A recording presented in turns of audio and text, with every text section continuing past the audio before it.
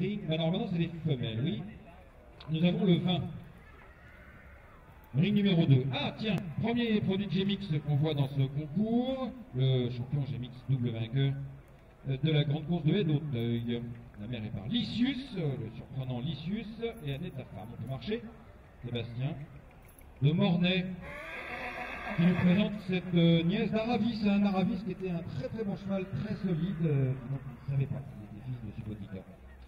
Quant à la mère euh, Anadoura, gagnante euh, précoce du prix de début à Lyon en obstacle, elle a fait donner naissance à deux vainqueurs, notamment Kayanoura, une fille de Kayasi, qui euh, s'est imposée dans la course de Claude à Toulouse. On va trotter, Sébastien. D'Ayutara également. Pour le 20 à.